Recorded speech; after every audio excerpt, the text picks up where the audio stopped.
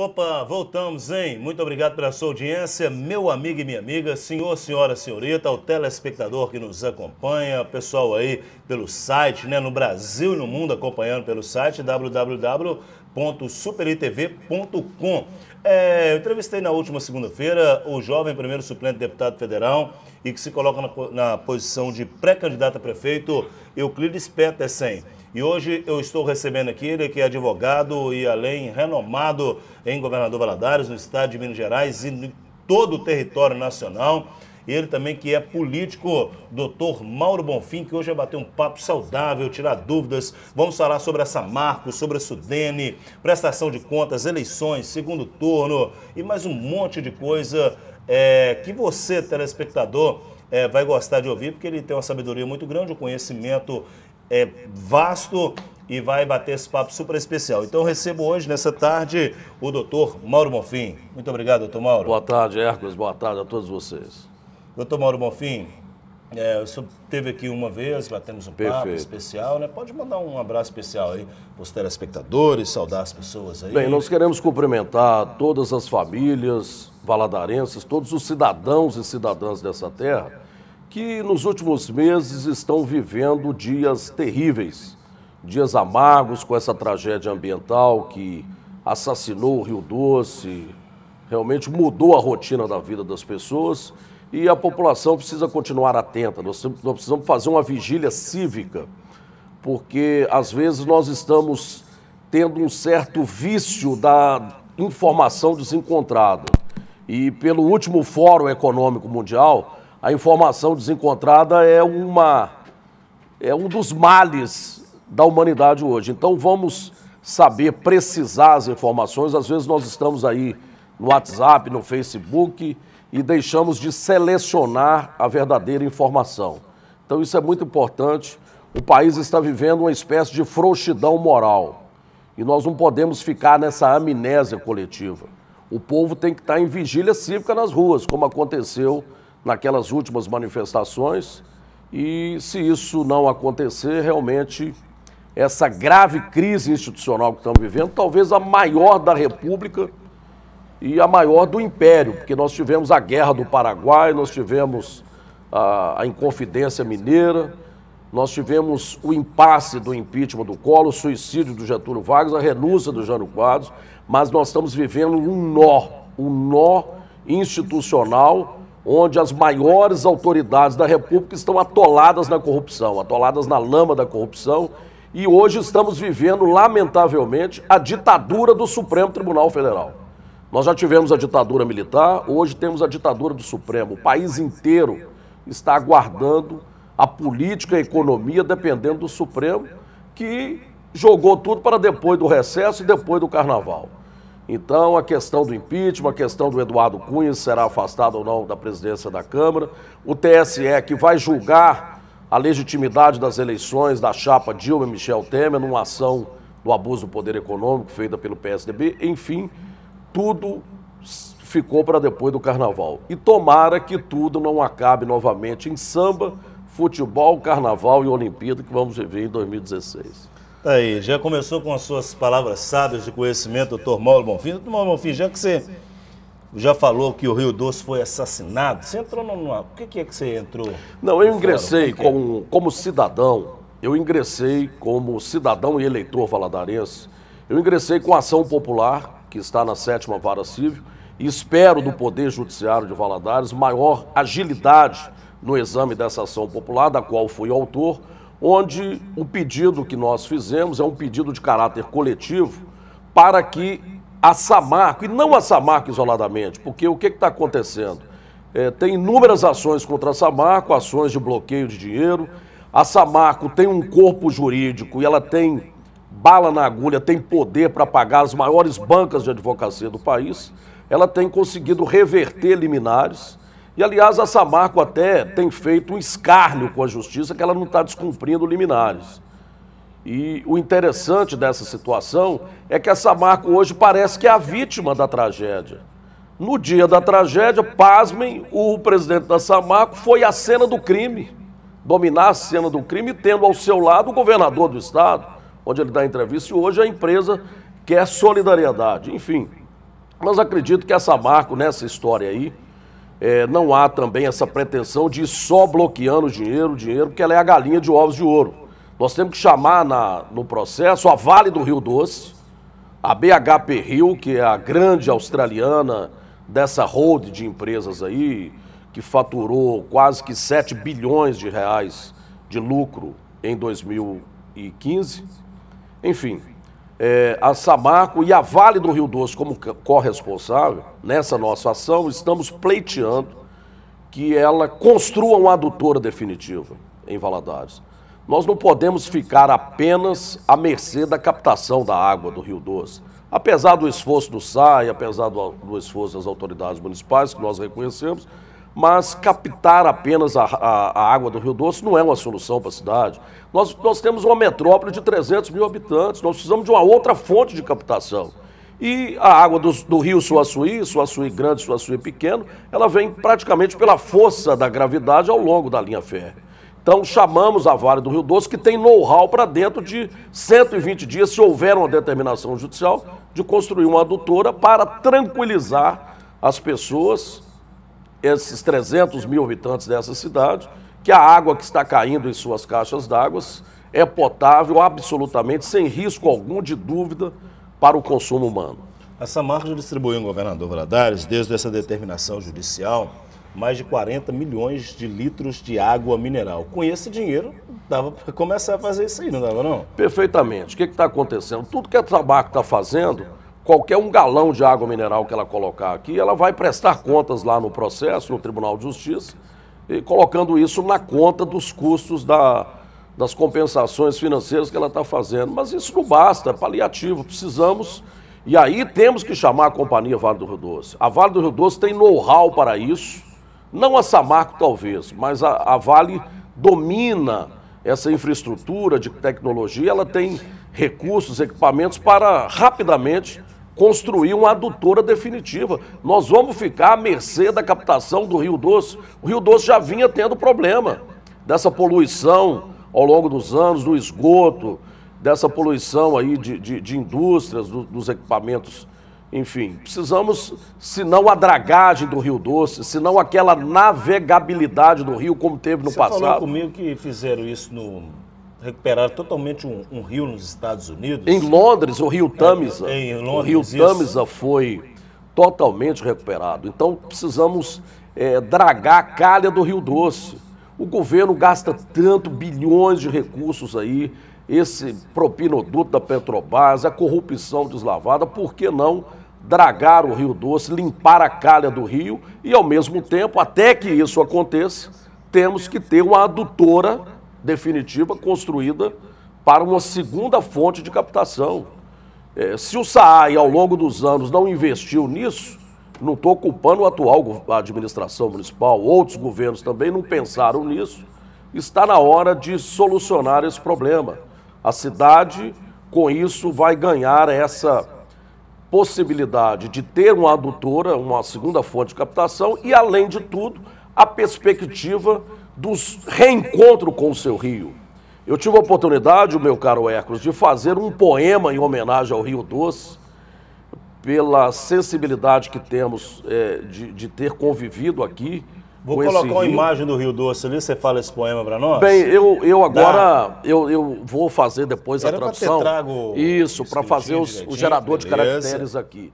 Porque realmente é, sob esse leito do Rio Doce e Valadares tem sofrido ao longo dos tempos de ser uma cidade esquecida pelas autoridades federais, pelas autoridades estaduais. Aqui, desde o Brasil colônia, desde a chegada de Dom João VI, passou a ser área proibida.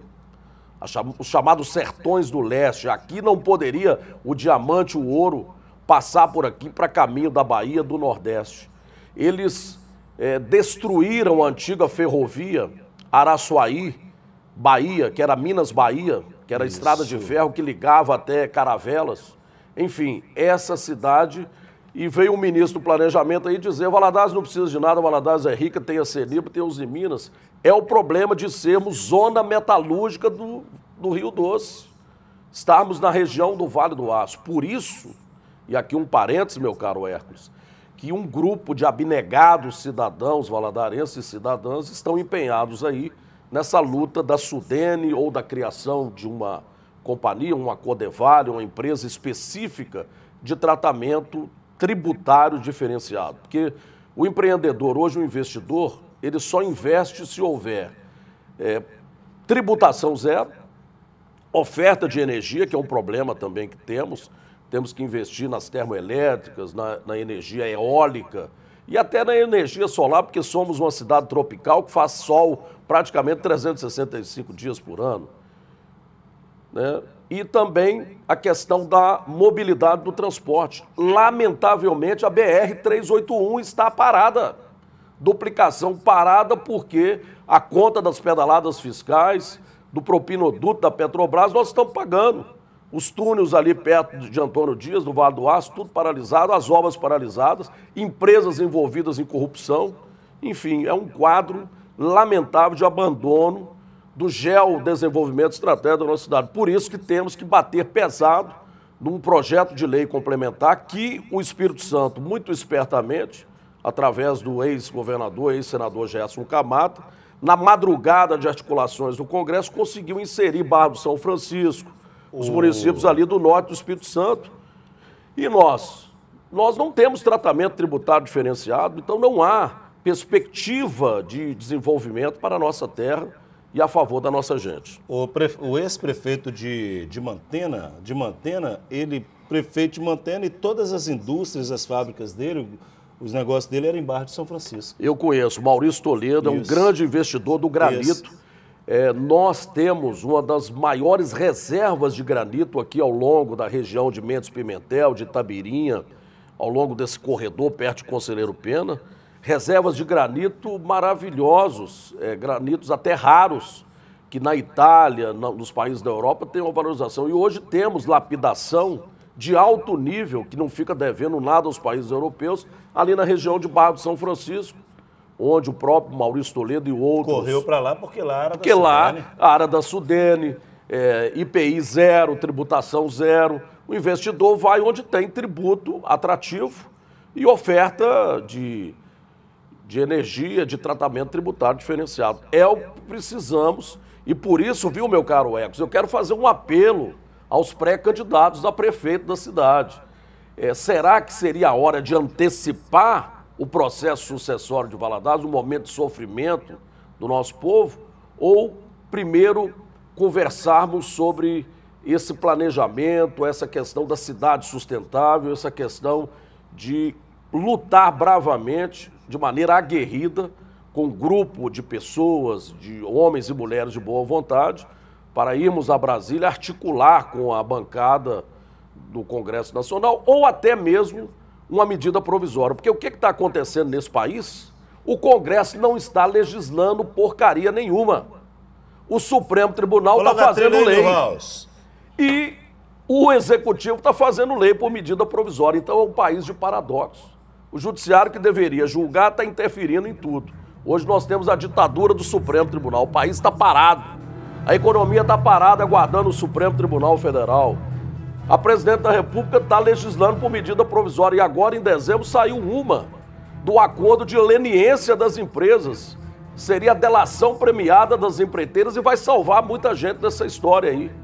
Pessoas condenadas vão ficar um ano praticamente presas temos que tomar cuidado com a delação premiada, porque o sujeito condenado a 14 anos, ficar um ano na prisão porque fez delação premiada, e agora tem um empreiteiro que o patrimônio dele subiu em 2003, que era 500 mil reais, hoje está em 500 milhões.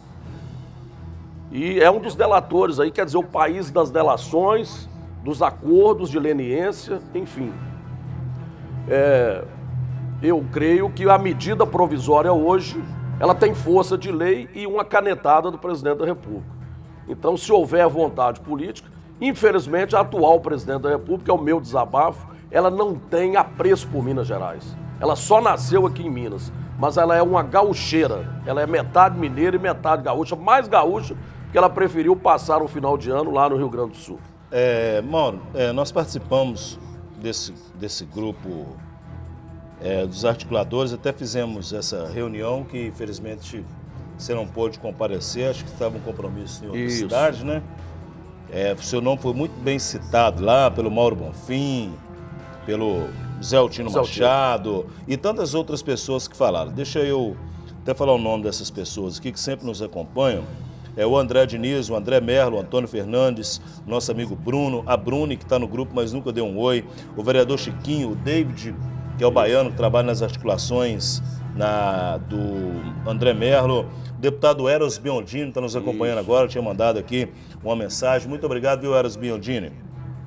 Edivaldo Soares Filho, Edivaldo Soares Pai, Euclides Petersen, Flamarion, Gilson Terra, Jackson da Óbvio, João Emílio, Júlio Salles, Leonardo Monteiro, Marcos Fraga, Marcos Sampaio, você, o Mauro Bonfim, a Meirinha do Cis Doce, nosso amigo Nasci Belal, Pedro Venâncio, Renato Fraga, Ricardo Assunção, Rosiane Azevedo da Fieng, Celé Milhel, Tanner Diniz, Tony Diniz, Zé Altino Machado e o deputado Caio Nácio. É...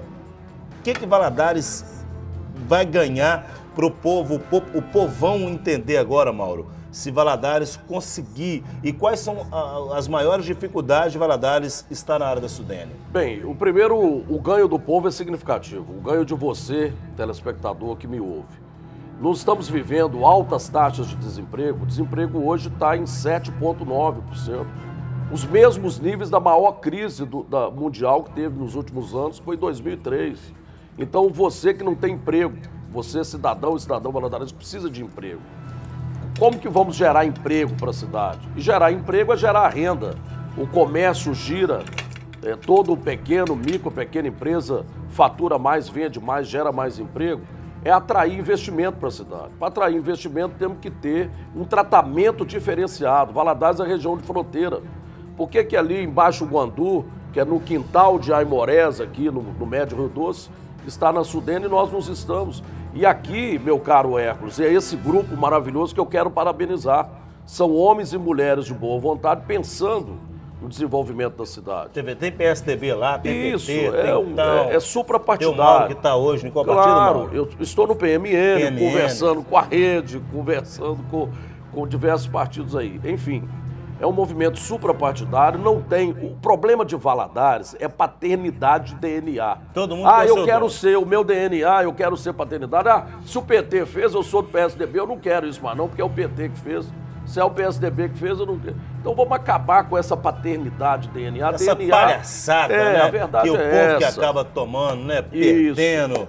Então temos que realmente, por isso que eu digo, talvez é uma atitude mais cívica e patriótica, nós, ao invés de acelerar a precipitação do processo das eleições, do processo sucessório, porque temos tempo para isso, teremos uma campanha só de 40 dias, que vai começar lá em agosto isso.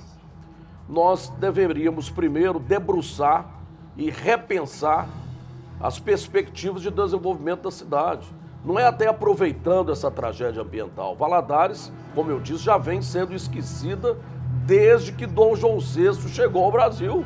A corte de, de Portugal chegou aqui em 1808. Aqui foi decretada guerra aos índios botocudos. Altino, acho que já falou sobre isso aqui com muita propriedade, que ele é um estudioso também dessa matéria. Foi decretada a guerra justa aos índios e para que o diamante, o ouro, as pedras preciosas não passassem em direção ao Nordeste, fecharam as fronteiras da nossa região e também imaginaram que nunca mais podia o desenvolvimento chegar aqui.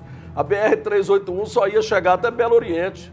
Precisou de muita luta para que o edital ampliasse até Valadares, mas também as obras estão paralisadas. Nenhum empresário investe na região sem energia, oferta de energia, o transporte, mais do que nunca, o tratamento tributário, a tributação zero, e aí a área da Sudene proporciona isso.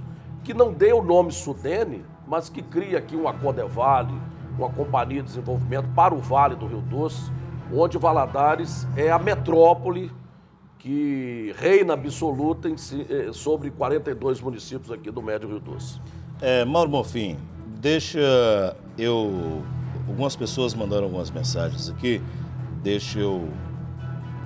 A pessoa mandou aqui um vazamento há três dias lá na rua.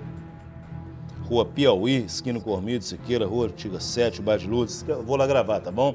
pode ficar tranquilo que eu vou gravar uma matéria aí para vocês aí, tá joia? Pode contar comigo, essa massa, esse povão que nos acompanha aqui. Meu amigo Albinho de Oliveira ligado com a gente, o José Deck, alô José Deck. É, a Maria Geraldo, é, estou ligadinho, um grande abraço para você e para o seu entrevistado. Aparenta ser uma pessoa muito inteligente. Obrigado, minha amiga Maria Geralda. A Cleusane, esposa do meu amigo Aguiar Júnior, da Concambi, é o conselho é, que cuida das associações comunitárias em Governador Valadares. O Flavinho, do bairro Granduquesa. Deixa eu ver essa pergunta aqui. Deixa eu ver se eu acho que quem mandou uma pergunta aqui. Chegou muita pergunta. É questão eleitoral? É questão eleitoral. Vamos do, entrar da aqui prestação nessa... de contas. Isso. É... Ah, tá. Tudo bem. Com apenas 45 dias de campanha, como ficará as prestações de contas? A campanha que antes era feita feitas em agosto e setembro do ano eleitoral. É, eu digo as parciais. O candidato, Mauro, que não prestou contas, vai conseguir registrar sua candidatura? E quais situações um mandatário poderá mudar de partido sem perder o mandato? Bem, vamos... Comente as novas regras e prazos para o vereador e suplente, bem como os deputados e suplentes. Bem, nós vamos explicar. É, aquele candidato que nas últimas eleições não prestou contas, ou seja, não apresentou as contas é, da sua candidatura como vereador ou candidato a prefeito ou a vice-prefeito nas eleições de 2012, fica fora da disputa. Está fora, não tem. Está fora por quê? Isso não é inelegibilidade, isso não é condição de elegibilidade. Isso é condição de registro.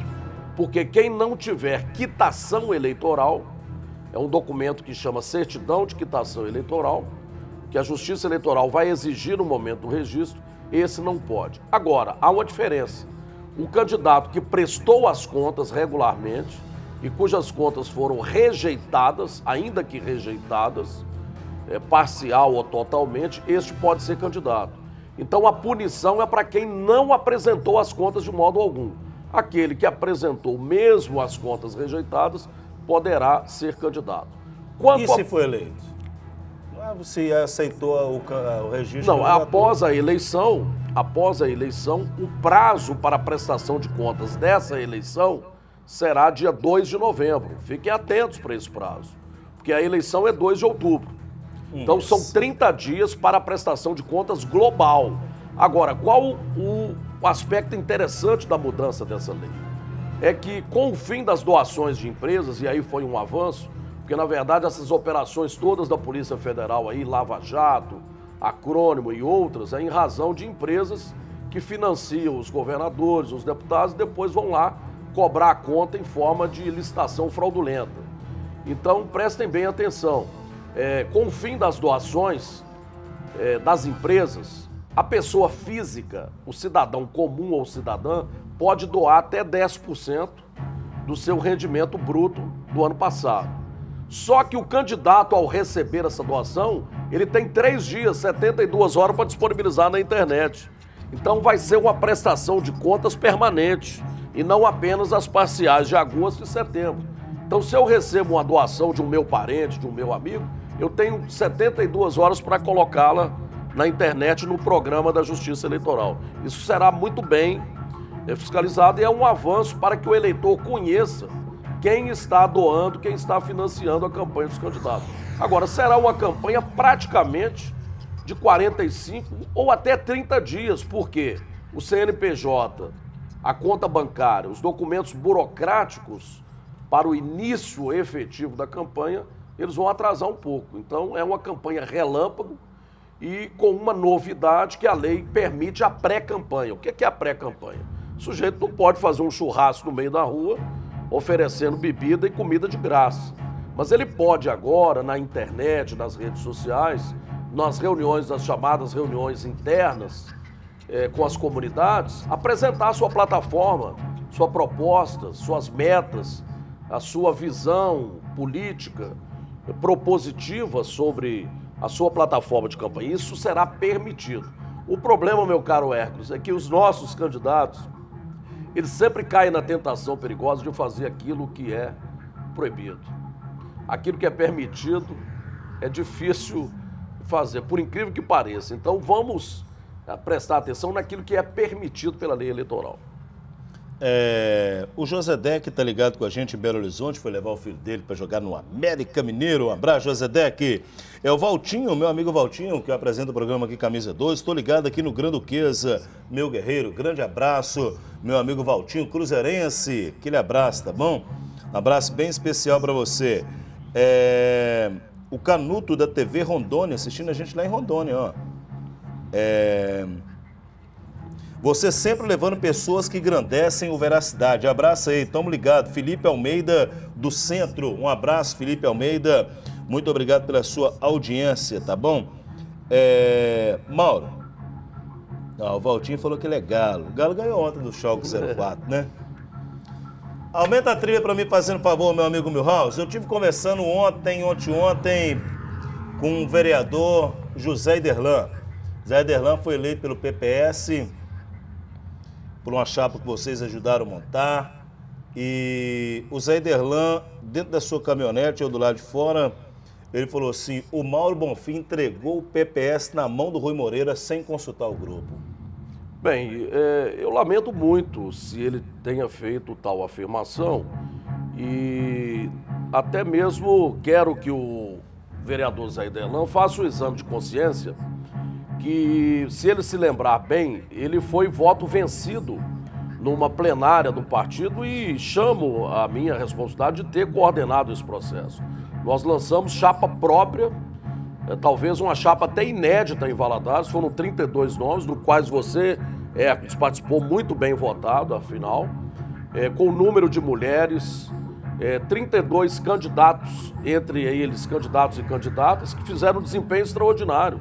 Quase elegemos dois vereadores fazendo o consciente eleitoral sozinho, descolado de outras coligações. Até me indagaram, mas é um risco o PPS sair sozinho à época. E em razão disso é que o senhor José Iderlan foi eleito.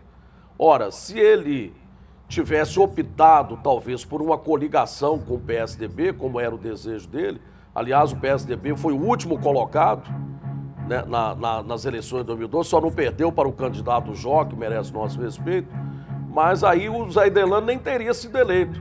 Então ele e o saudoso Rosberi foram votos vencidos, porque eles queriam coligar com o doutor Augusto Barbosa, que é um nome eh, que eu respeito, é meu amigo, uma pessoa que merece nosso respeito, mas a maioria do partido optou pela candidatura do doutor Rui à época, que estava em primeiro lugar nas pesquisas. Depois ele foi ultrapassado na reta final pelo André Melo, que teve um excelente desempenho. Mas o doutor Rui estava em primeiro lugar e não é verdade, José Iderlan, que eu tenha feito isso isoladamente. Isso foi uma plenária do partido democraticamente, com as presenças, aliás, de doutor Rui Moreira de um lado e Augusto Barbosa de outro. E ali a maioria do colegiado, como sempre fiz questão de fazer. É uma escola democrática que nós fizemos à época onde a média ponderada das opiniões dos filiados prevaleceria. Então a maioria optou, não foi o Mauro Bonfim isoladamente, a maioria optou pela candidatura do Dr. Rui à época. Mauro Bonfim, outra pergunta aqui agora. É, nós estamos recebendo algumas denúncias é, aqui no programa e veio até algumas pessoas me procurando aqui com papéis na mão e eu, no calor da emoção, quase que eu entro aqui e falo, é fulano de tal, é isso Aí eu parei, respirei, falei, vai ao fórum, faça essa denúncia direitinho, formalize, aí depois vem cá. Denúncia que tem um determinado vereador em Governador Valadares que está com maracutaia e vendendo área verde. Eu não posso citar o nome porque ainda a denúncia não foi formalizada, não vou cair numa furada dessa, né? Que eu não sou bobo. O que, que pode acontecer com esse vereador? Além do filme dele ficar queimado nas redes sociais, ele não vai ter a reeleição se for comprovado que ele está fazendo essa Bem, é, se for comprovado. Vereador de governador Valadares. Se for comprovado, é ato claro de improbidade administrativa. A improbidade administrativa ela acarreta uma série de penalidades do artigo 12 da Lei de Improbidade, entre as quais a perda da função pública, a suspensão de direitos políticos por até 10 anos, a, a máxima na, na improbidade, e além do pagamento de multa civil. E há uma lei federal do Estatuto das Cidades, que rege o plano diretor, que áreas verdes, áreas ambientais, elas não podem ser negociadas absolutamente. São áreas de proteção é, do Estatuto das Cidades e mesmo se houvesse uma lei municipal aprovando, existem sérias restrições quanto à ocupação ou à alienação, à venda ou cessão de uso para eh, de particulares sobre áreas verdes. É, isso é regido por lei federal e poderá acarretar ato de improbidade, além de crime contra a administração pública regido pelo Decreto-Lei 201 e pela, pelo Código Penal. Doutor Mauro Bonfim, é, advogado, político, é, daqui a pouco eu leio é, todas as mensagens que estão chegando aqui. Eu vou tomar um café com o doutor Mauro Bonfim e logo na sequência eu volto falando com ele acerca da campanha do Edivaldo Soares, se ele deve permanecer no, no PMDB ou não, André Merlo no PSDB, porque já é o ano das eleições já. O Mauro, se ele vai ficar definitivamente em Governador Valadares, vai participar é, do processo eleitoral em Governador Valadares, se vai colocar o nome dele à disposição, se vai coordenar a campanha de alguém, o que, que vai fazer. Vamos falar do André Merda, do Euclides, Ricardo Assunção, enfim. Então, em nome da Frigoleste e da Chácaras Miura, eu vou para o primeiro intervalo comercial e logo na sequência eu já volto falando sobre tudo isso com o doutor Mauro Bonfim, que está dando aqui um show de informações para você, telespectador, que merece isso e muito mais. Meu amigo Milhouse, intervalo comercial, 1 minuto e 30 segundos, eu volto já.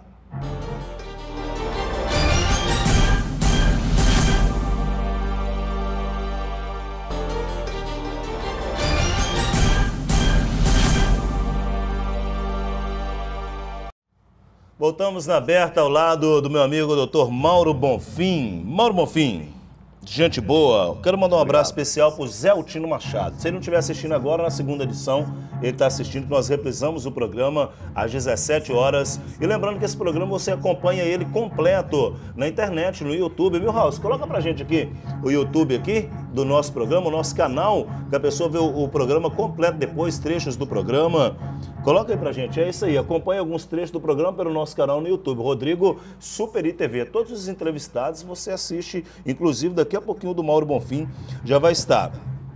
É...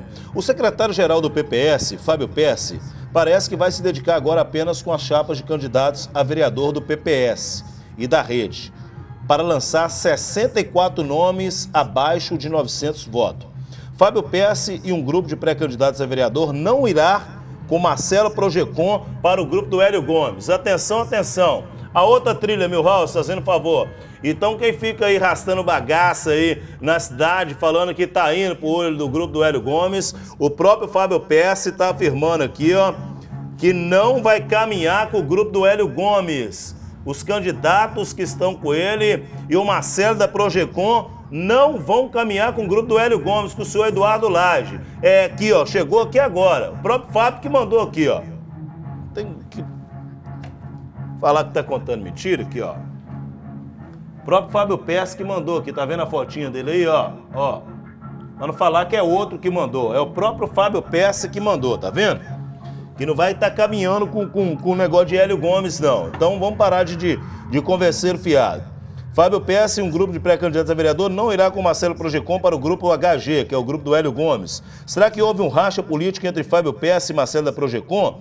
O secretário-geral do PPS, Fábio Pérez, parece que vai se dedicar apenas aos candidatos. Mauro, tem como lançar dois partidos, 64 nomes? Não, não, porque parece que deve ter havido aí um, um equívoco. É, o máximo que se permite na legislação eleitoral é o dobro de vagas. Como nós temos 21 21 vagas, 21 cadeiras na Câmara de Governador Valadares, é, permite-se o dobro ou 150% do total de vagas. Então, atingiríamos aí o máximo de 42 candidatos. Agora, essa opção de lançar chapa individualizada ou mesmo uma coligação de dois partidos é, faz parte realmente dessa estratégia é, do, do, dos conscientes partidário e eleitoral. O que nós temos que lembrar da novidade, da grande novidade nesse aspecto de cálculo de, de se atingir a uma cadeira ao consciente, é o seguinte: tradicionalmente, os matemáticos aí das últimas eleições, entre eles o nosso querido Paulo de Tarso, eles dizem o seguinte: que é, o quociente eleitoral em governador Valadares deve ficar em torno de 7 mil a 7.200 votos. Então, a cada grupo de 7.200 votos se elege uma cadeira. Só que, é, se houver uma coligação, por exemplo, nenhum candidato poderá ter menos de 10% do quociente eleitoral. Se o quociente for 7.200, o mínimo que um candidato pode ter para ser eleito é 720 votos. Então 700 então, votos está fora. Isso. Então não vai ter aquele efeito. Então não adianta o, o, presidente do partido chegar aqui, nossa matemática é essa, e se você tiver 700 votos você vai ser eleito, se fizer, então... É, de 720 para cima, que é o, é o 10% do total do quociente. Porque, na verdade, o que, que era possível na prática ocorrer até então?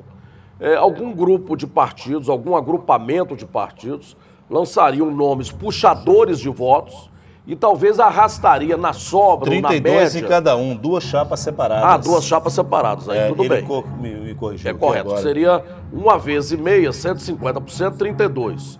Com mais 32 na outra chapa separada, aí tudo bem, 64 é possível. Bem, mas vamos em frente. O que poderia acontecer é um grupamento de partidos lançar potenciais candidatos e eles alcançarem um tal número de votos no quociente eleitoral para arrastar alguém com 600, 650 votos. Isso não é mais possível, porque a lei colocou uma cláusula de barreira com 10% do total do quociente para fins de chegar a conquistar uma cadeira, no caso de governador Valadares especificamente. Entendi perfeitamente. Deixa eu mandar um abraço especial para o nosso amigo Simar, está pedindo um abraço aqui desde cedo. Simar trabalha na fiscalização Perfeito. municipal. Um abraço, meu amigo Simar, e também para sua mamãe. Como é que é o nome da mamãe, hein? Acho que é Dona Branca, né? Lá do bairro de São Paulo. Alô, Simar, aquele abraço, hein?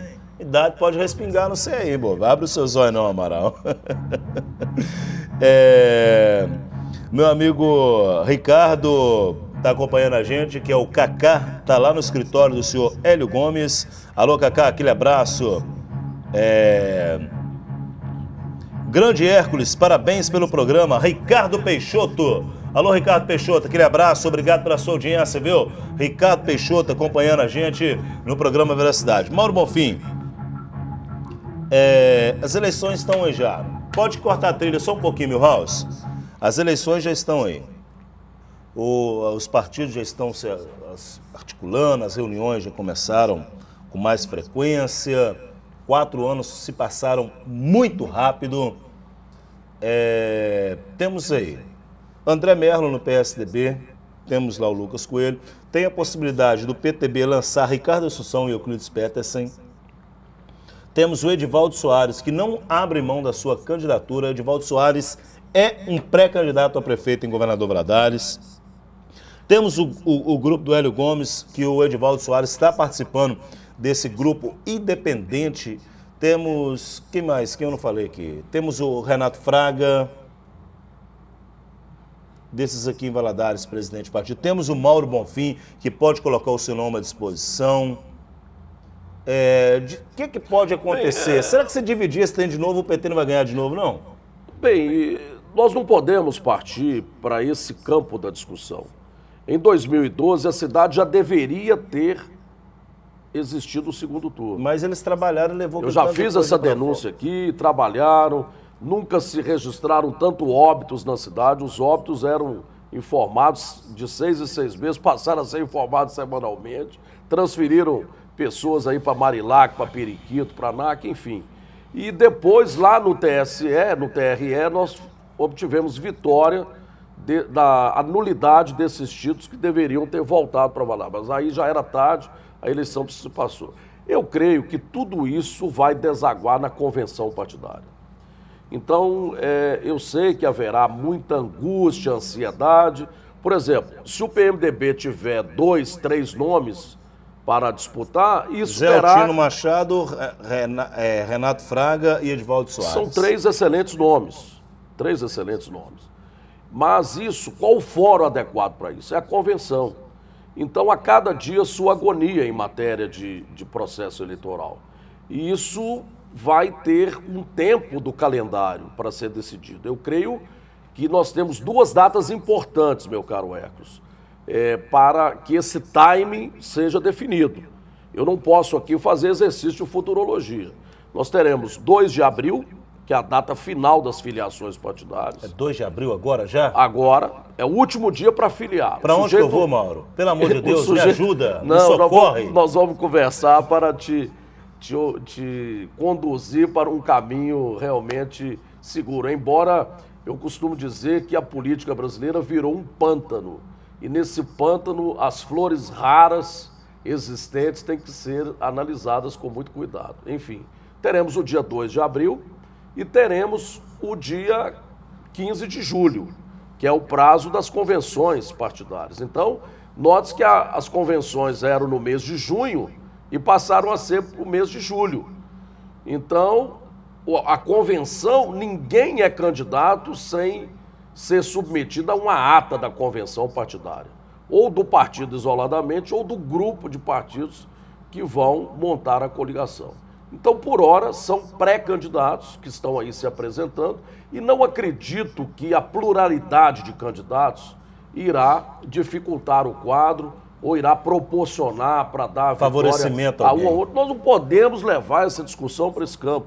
Nós temos que ter, sim, vários candidatos Trilha, no primeiro turno.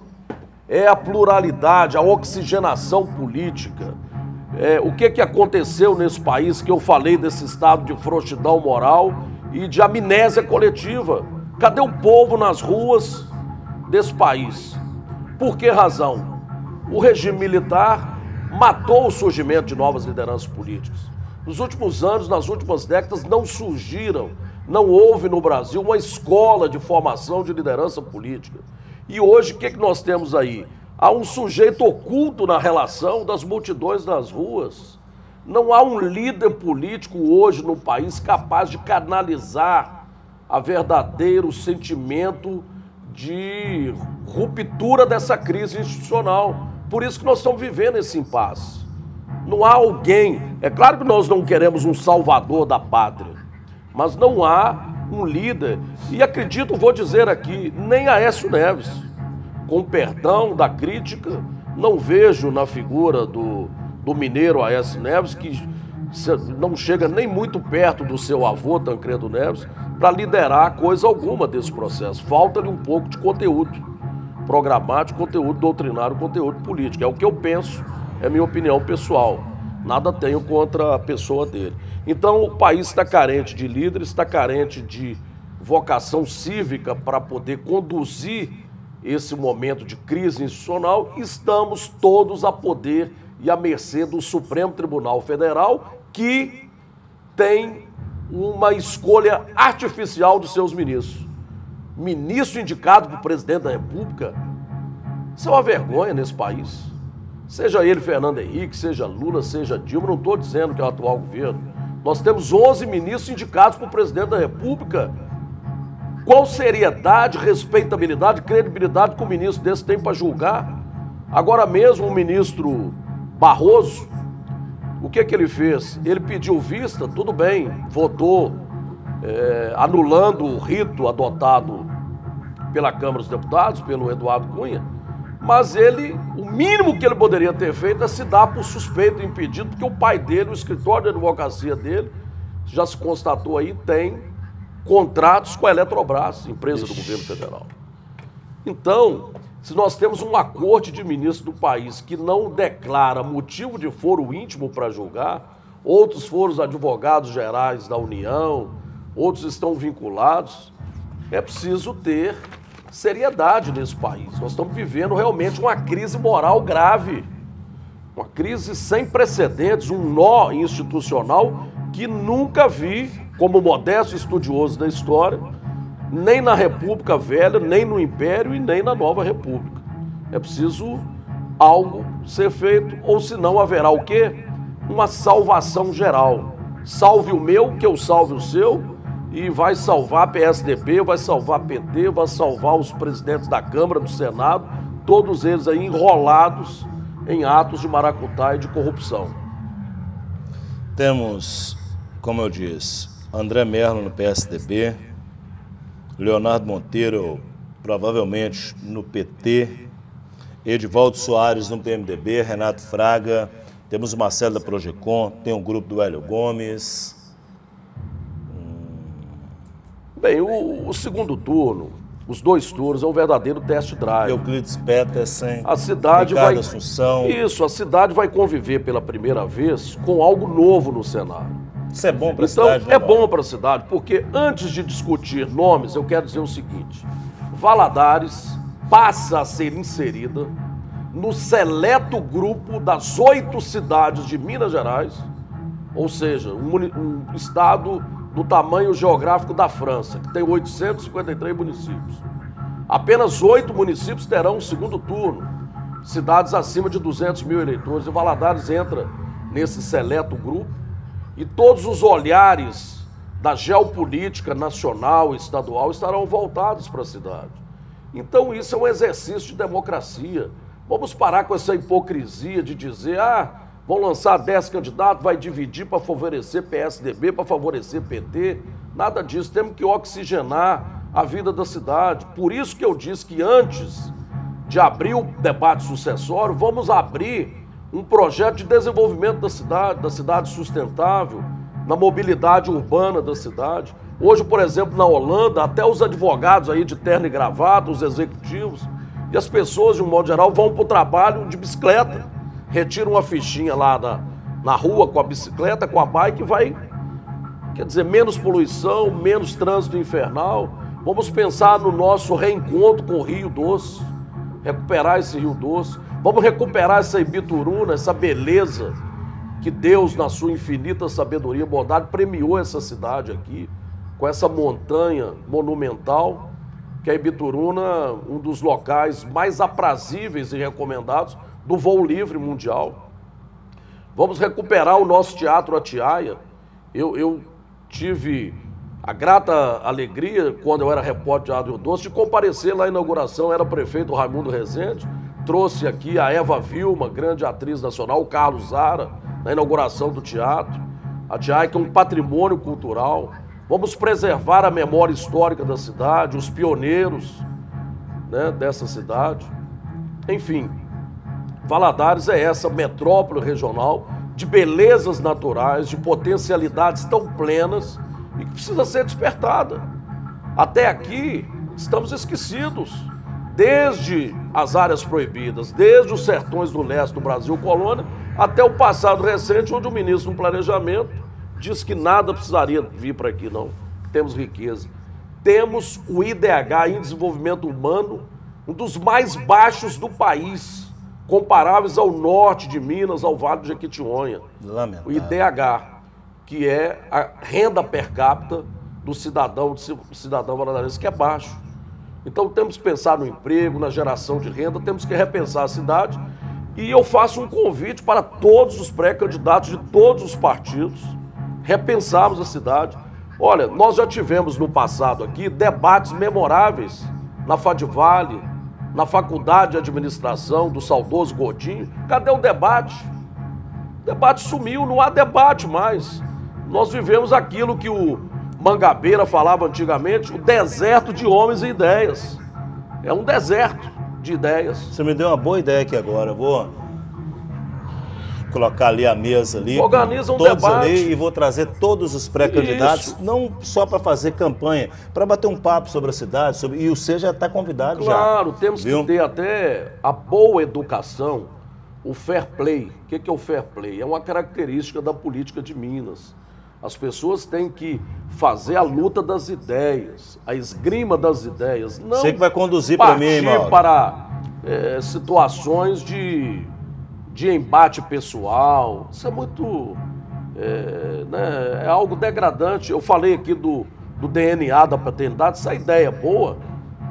Se o projeto é bom, se uma administração deixou um projeto bom, a administração seguinte deve preservar. Né? Mauro, o pré-candidato a prefeito que já entra com espírito na campanha, ou o vereador mesmo, tipo assim, já ganhei. O que, que você fala para esse candidato? Bem, eu falo uma frase extraordinária dos grandes políticos sábios em Minas Gerais que diz o seguinte: eleição e mineração, nada numa ironia contra a Samarco, mas eleição e mineração só depois da apuração.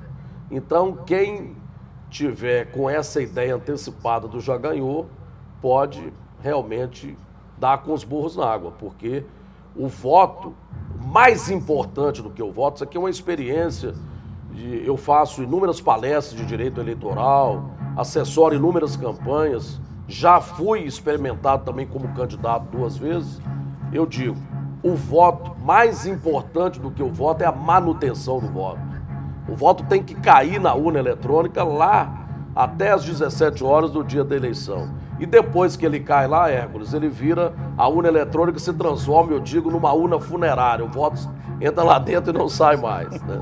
Mauro, é, o que, que a pessoa pode fazer nessa campanha? No caso do candidato a vereador, como ficou essa questão aí de carro de É, som? isso é lamentável, é lamentável. É, microfone, eu Brasil- sair com canto do Não, microfone. no Brasil é o seguinte, eles querem mudar e o Congresso Nacional não tem preparo nenhum para fazer legislação eleitoral, com perdão da crítica. Eles querem amordaçar os candidatos. Eles querem proibir tudo. Vou te interromper só para te falar uma coisa. Dá gosto de ouvir o Mauro Bonfim falar. Sabe quem te falou isso agora? Proprietário e meu amigo da Rádio Transamérica Hits, o Alírio Dutra. Obrigado. Que homem, eu tenho alegria e prazer de passar na rua Caio Martins, entrar dentro da Transamérica e tomar um café com o seu Alírio e escutar também a sabedoria dele. Alírio Dutra, para mim, é um dos ícones da comunicação. Essa sua voz cálida que me inspirou no meu início no Rádio Valadarense, junto com grandes nomes, como Humberto de Campos, como Ademir Cunha, como o Maninho, o Ailton Dias, o J. Braz, esses nomes todos do rádio, o Edson Galberto. E o Casca Grossa? O Casca Grossa, não poderia. Eu O, Os, do meu o pai, Osman. Monteiro, que não é do meu tempo, mas que eu já. Mas o Alírio, o Alírio tem uma coisa extraordinária, que ele é avesso ao espetáculo. Ele é um homem discreto, é, prestou relevantíssimo serviço para Valadares, na sua sabedoria silenciosa. Ele sabe se conduzir e tem muito a contribuir ao seu jeito. E é um grande nome da comunicação dessa cidade, uma pessoa que eu admiro e respeito muito.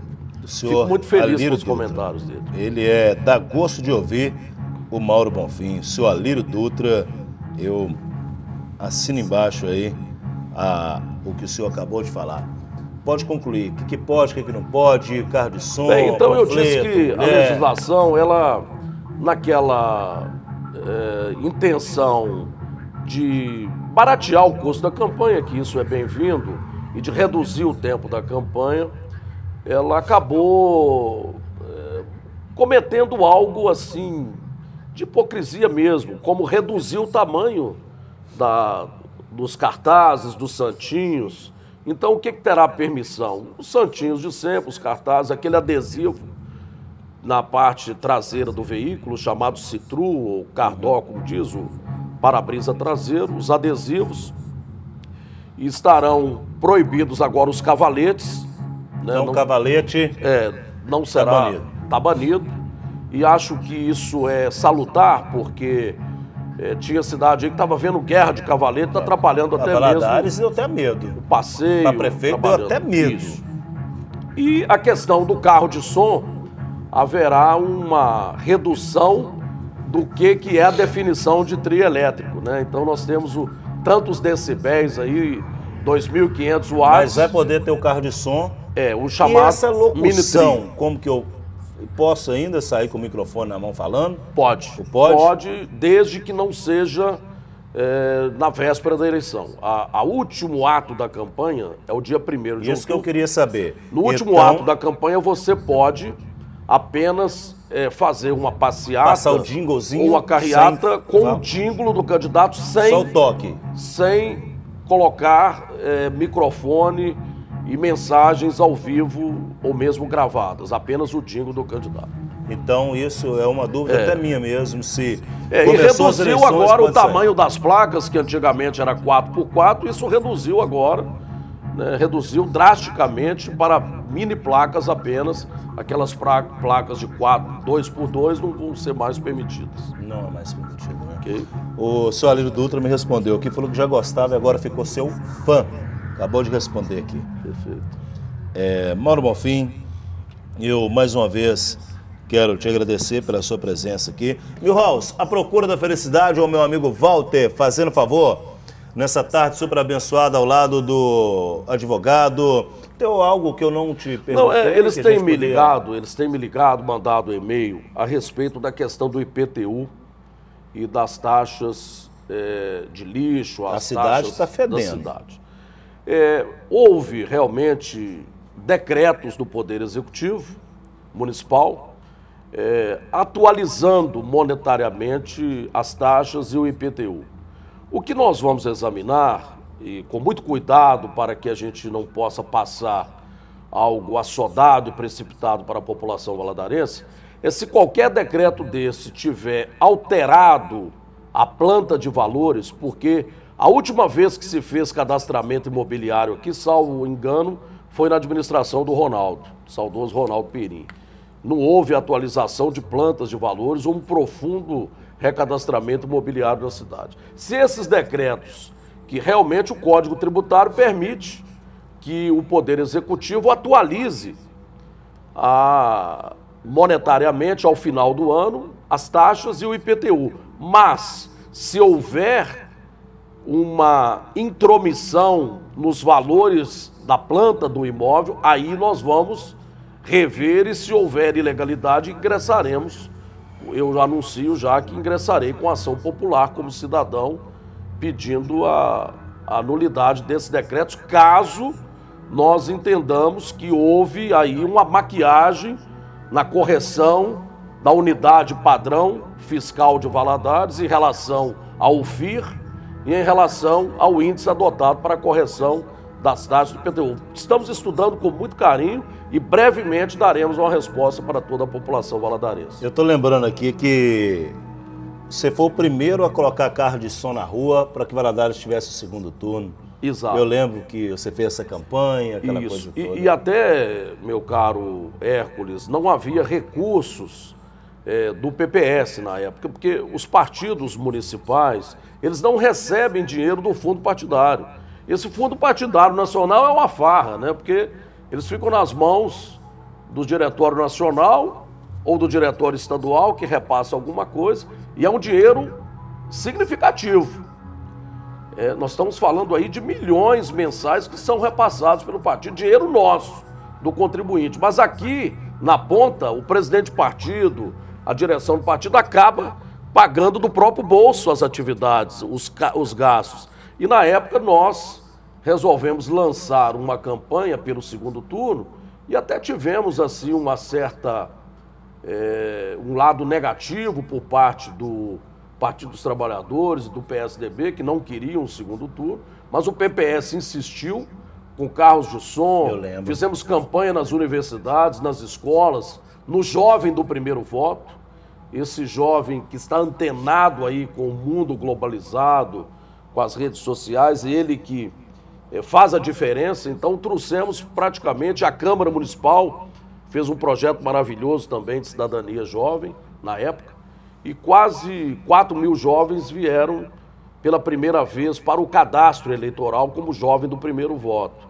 E vamos continuar estimulando isso para que também não haja uma surpresa de de repente a cidade perder esse lugar cativo e, e lugar privilegiado do cenário dos oito municípios de Minas Gerais que tem o segundo turno, porque as pessoas vão, ocorrendo o falecimento, mudança de endereço, mudança de domicílio para outras cidades, e precisamos manter esse cadastro sempre potencialmente significativo com o jovem do primeiro voto. Você, jovem, que ainda não se cadastrou, vá ao cartório eleitoral, leve apenas a conta de luz aí do seu pai, da sua mãe e a sua carteirinha de identidade, que você vai fazer a sua, seu cadastro, inclusive agora com a biometria, em alguns casos do, dos jovens que vão se cadastrar, a identificação biométrica. Aí você estará sendo cidadão, estará exercendo a cidadania plena, e isso é muito salutar para a oxigenação desse processo político. Precisamos do jovem, também das pessoas, das mulheres, do- do- das pessoas da terceira idade, todos aqueles que puderem contribuir. Última pergunta ao Dr. Mauro Bonfim. Quem te faz essa pergunta, aliás, é até meu irmão, Rogério Dias, proprietário do jornal Oi Bituruna, locutor, é, excelentíssima pessoa, radialista, meu irmão que eu amo muito. Ele manda te perguntar assim: Mauro Bonfim, você considera que as eleições no Brasil, da maneira como são promovidas e realizadas, significa de fato, de fato, uma democracia? Bem, eu acredito que. E ele te manda um abraço. Democracia, sim, mas um pouco ainda capenga. Nós vivemos um processo democrático, mas com muitos avanços ainda que precisam ser feitos. Por exemplo, esse sistema, esse modelo político, ele distancia as pessoas da política. Ela cria um fosso, um abismo entre política e sociedade, porque nós não temos um, um sistema de representação puro. A começar que o voto do Norte e do Nordeste, o voto do Sudeste tem, tem o peso de três votos lá do Norte e do Nordeste. Porque os militares, para fazer maioria no Congresso, criaram senadores biônicos, criaram representações de bancadas fortes no Norte e no Nordeste para contrabalançar o Sul e o Sudeste. Então nós vivemos uma crise de representação. O primeiro passo é fazer a verdade real da representação política. O segundo turno vai nessa linha. Outro aspecto é que no Brasil nós não chegamos ainda ao avanço de o um cidadão poder se candidatar como na França, sem estar afiliado a partido. Então, obrigatoriamente, você precisa estar afiliado ao partido. E os partidos nem sempre são confiáveis. Nós temos 40 partidos no Brasil, a maioria deles, com perdão aqui da crítica, que é uma crítica contundente e ferina. É balcão de negócio. São legendas de aluguéis que, lamentavelmente, estão aí negociando, fazendo de tudo de menos um processo democrático. E o legislador agora, num avanço bom, ele vai distribuir o tempo de televisão em 2016 para os seis maiores partidos, exatamente para evitar que essas legendas de aluguel possam ser cooptadas para potencializar o tempo de televisão. Então, só os seis maiores partidos vão é, é, dividir o tempo de televisão. Isso é péssimo, mas foi uma forma que se encontrou para barrar um pouco esse toma lá da cá, essa negociação no Brasil. Agora, poderíamos pensar o quê? Na bandeira do parlamentarismo, talvez. Infelizmente, o parlamentarismo ele tem que ser feito é lá no Congresso. Porque se fizer um plebiscito, vai haver rolo compressor do governo, dos interessados, como aconteceu no plebiscito do João Goulart e no plebiscito de 91, onde o povo não é obrigado a saber sistema de governo. Então, o que é que nós temos que ter no país? É, estão falando em impeachment aí. Talvez o que deveria ter havido é o recall.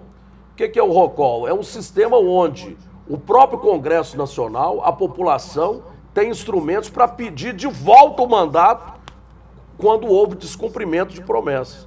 Se a presidente da República foi eleita e no dia seguinte ela dizia que nem que a vaca tossisse iria ter aumento de impostos, de corte de direitos dos trabalhadores, e depois aumentou tudo, a, a, energia elétrica, a gasolina, cortou direitos dos trabalhadores, ela deveria sofrer um recall, que é um instituto em que se reave o mandato porque houve a quebra da legitimidade popular. Muito e o parlamentarismo, seria, e o Muito parlamentarismo, seria, viu? o parlamentarismo, agora tudo isso, eu quero olhar para essa Câmara aqui, só com constituinte exclusiva, meus amigos e minhas amigas.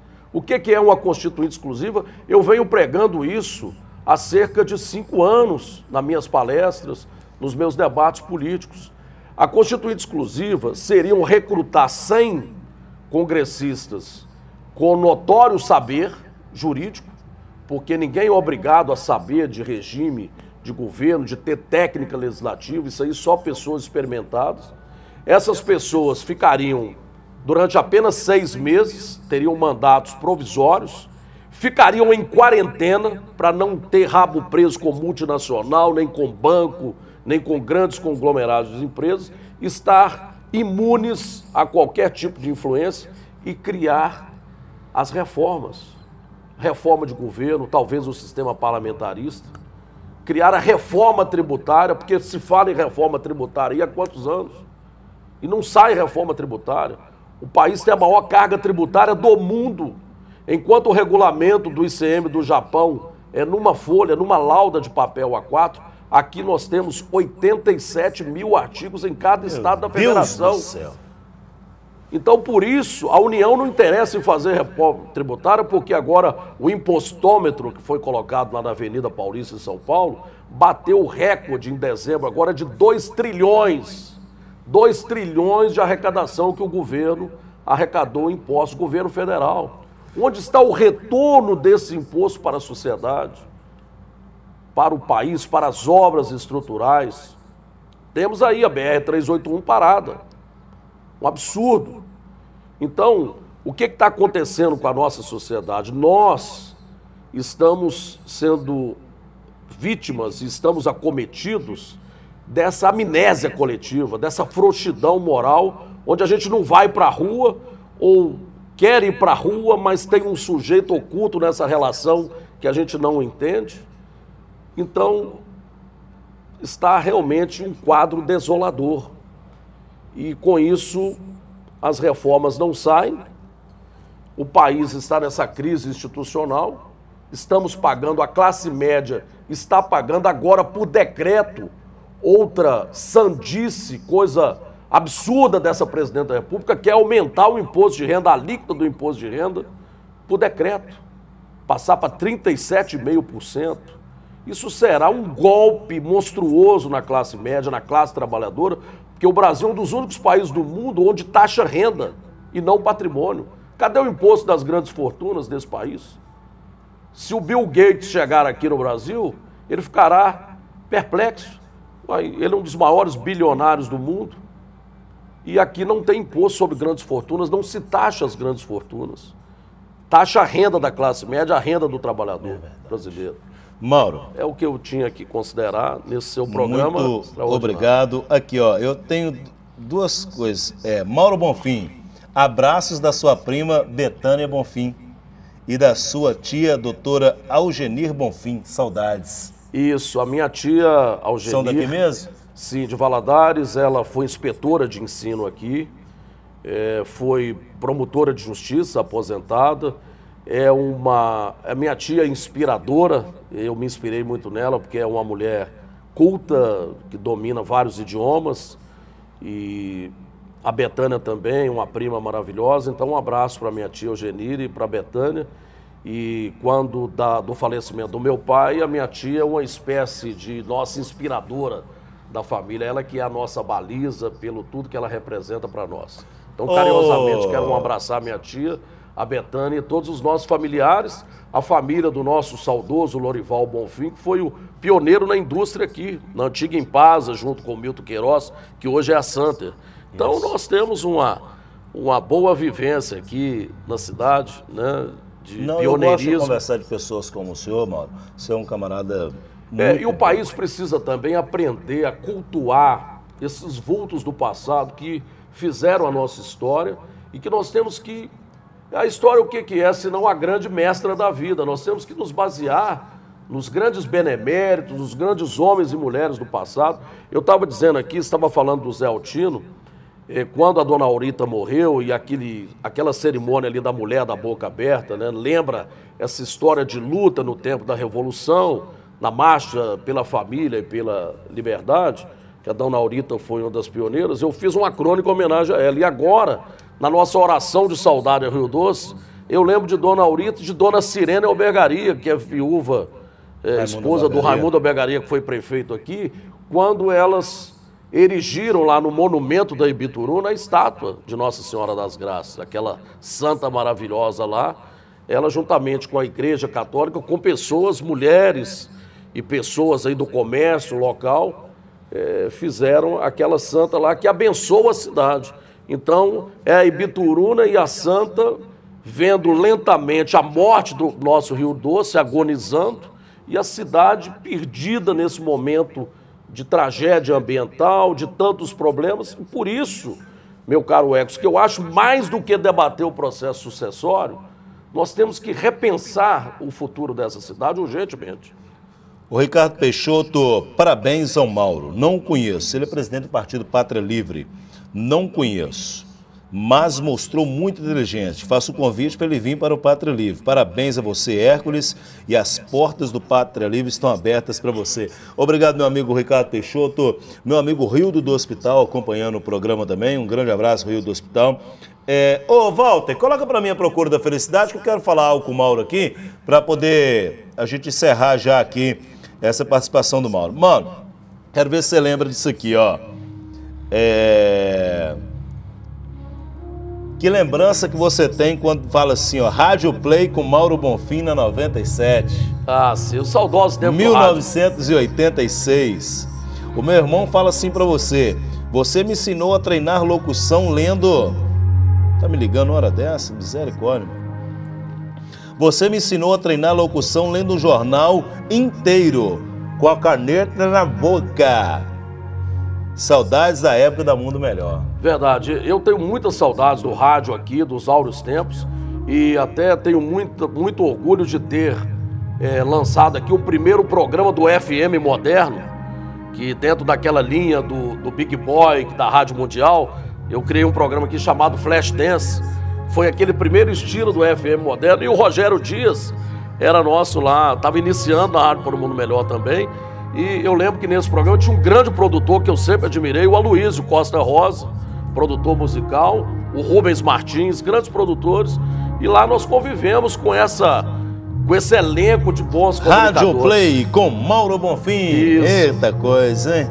Eu citei o nome de alguns aqui, Wilson Danilo, J. Braz, Humberto de Campos, Aliro Dutra, Paulinho Dutra, de saudosa memória. O Edson Galberto, esse é o nosso ícone. Eu, eu chamo até o Edson de senador, é o nosso senador. Eu gosto muito do Edson. Né? Mauro, aqui, ó. Mandou aqui, ó. Deixa eu ver se vira. Não vira não, mas você vai ver aqui. Aí, Ah, sim. Ótimo. Família, é, né? Essa foto foi na Academia Valadarense de Letras, quando eu tomei posse aqui, como membro da Academia. Entrando para a Academia de Letras. A quem eu agradeço também e parabenizo toda a diretoria da Academia Valadarense de Letras. É, felizmente tem que falar agora que acabou de acontecer um homicídio no bairro Carapina. Notícia de primeira mão para você. Abaixa um pouquinho, Walter. Quem me conhece, governador Valadares, sabe que eu sou filho do senhor Adriano Dias da Silva, o Casca Grossa, e da dona Maria José Dias da Silva, dona Zezé. Não posso falar do meu pai e deixar de falar da minha mãe, nada. Casca Grossa é, mas da dona Maria José, que quando meu pai morreu, minha mãe com seis meninos pequenos, e nós lutamos muito e graças a Deus vencemos. Esse é o projeto que eu faço Governador Valadares, todos contra o crack desde 2000, recuperando vidas, levando pessoas. O projeto estava aqui, cheguei, estava pegando alguns patrocínios para o cartaz, entre eles Coelho Diniz, Frigoleste, deputado Eros Biondini, construtora Beijo, do grupo é, Edivaldo Soares, e quero agradecer aqui ao vivo aqui o Mauro Bonfim, que viu esse projeto falou, faz questão de ajudar. Muito obrigado, viu, Mauro? Ele viu aqui, folheando no intervalo aqui, viu que o projeto, leu o projeto, o que, que fala aqui, senhor Aliro Dutra, que é um grande ajudador, viu aqui, ó, DVDs, associações que são beneficiadas, tudo aqui, e fez questão de nos ajudar na impressão aí dos cartazes que vão circular em Governador Valadares. Claro, Muito é, obrigado. Claro, Egos, porque nós, é, que eu sou um advogado com quase 30 anos de atuação nos tribunais, nos tribunais superiores, e nós alcançamos um relativo sucesso na advocacia, na vida profissional, nós temos que ter responsabilidade social retornar para a sociedade as dádivas né, que o Supremo Criador nos proporcionou nesse, nessa jornada de sucesso profissional. Então, é o mínimo que possamos fazer de ter um pouco de responsabilidade social. Então, você está de parabéns e você segue, eu já disse, a, as trilhas do seu saudoso pai, que eu pude conhecer ainda jovem, adolescente, chegando aqui em Valadares para iniciar no rádio e o Casca Grossa é esse fenômeno, né? Você costuma dizer que ele rompeu. É, é o único, eu falo sempre, o único candidato em todos os tempos a vereador que rompeu sozinho o consciente eleitoral. Ou seja, ele era o fura-urna, ele furava a urna mesmo, estourava é, pela sua popularidade, pela sua forma carinhosa que tratava o povo, um homem no meio do, do povo realmente. Então ele sozinho rompeu o consciente eleitoral sem precisar de coligação de qualquer outro candidato para servir de degrau para que ele atingisse o, o mandato de vereador. E me lembro que, é, quando da sua morte, é, o corpo chegando ali perto da Câmara Municipal, é uma multidão extraordinária indo dar o seu último adeus ao saudoso Adriano Dias da Costa, o Dias da Silva. Dias da Silva, o Casca Grossa. E eu creio que nós temos que reverenciar essas pessoas. Eu digo que governador Valadares precisa fazer realmente uma, uma espécie de reverência permanente aos seus beneméritos do passado. Né? Quem se lembra, por exemplo, de Dona Zulmira, é, vamos falar aí de Guilherme Gispreste, o pioneiro lá de Serra Lima, aquele carpinteiro que fez o traçado maravilhoso dessa cidade, de Raimundo Albergaria, do nosso Hermílio Gomes, um dos grandes prefeitos dessa cidade, de, de Ronaldo Perim. Né? Então chegamos aí a esses grandes, de Capitão Pedro, de Coronel Altino, quer dizer, homens que desbravaram essa terra aqui. Então, esses vultos históricos do passado eu creio que todo valadarense deveria citar pelo menos 10 pioneiros que ajudaram a edificar essa cidade. Muito obrigado, doutor Mauro Bonfim. Muito obrigado. Eu vou para o intervalo comercial ao lado do doutor Mauro Bonfim, que deu aqui hoje uma aula para o Hércules, uma aula para o telespectador. E essa pessoa que é o Mauro Bonfim, vou estar confirmando com ele para voltar outras vezes no programa Veracidade. Mauro Bonfim, muito obrigado. Agradeço a você, obrigado boa tarde, boa tarde mesmo. a todos valadarenses e valadarenses.